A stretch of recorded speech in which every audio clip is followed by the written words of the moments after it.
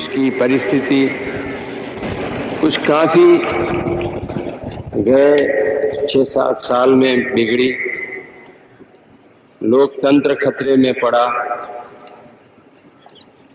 दुनिया में हमारी इज़्ज़त बिल्कुल गिर गई।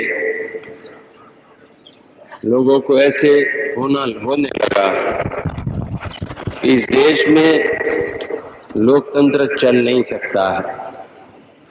और भारतीय लोग लोकतंत्र में विश्वास नहीं रखते।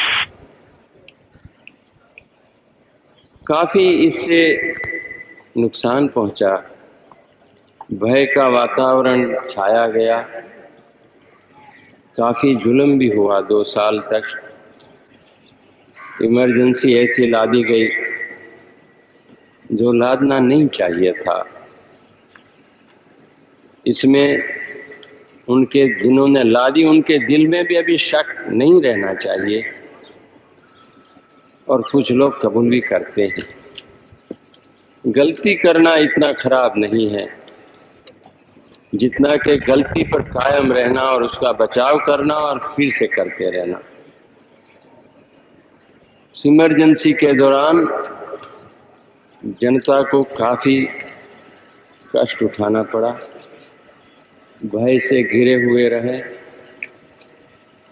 और देश कहाँ पहुंचेगा? इसमें निराशा जहाँ देखो वहाँ छा गई। परंतु जैसे ही चुनाव ज़ाहिर किया गया और जिन लोगों को बंद रखे थे, उनकी तादाद हज़ारों की संख्या में थी। लाख से भी ज़्यादा होगी। उनको भी छोड़ना शुरू किया गया। और तब से देश में एक नई हवा फैली। देश की निराशा हटने लगी। भय का वातावरण हटा। पूरा हटा ऐसा तो मैं नहीं कह सकता। भय एकदम नहीं जाता है। मगर जो अंतिम ठोके पर पहुँच गया था, वो काफ़ी कम हो गया।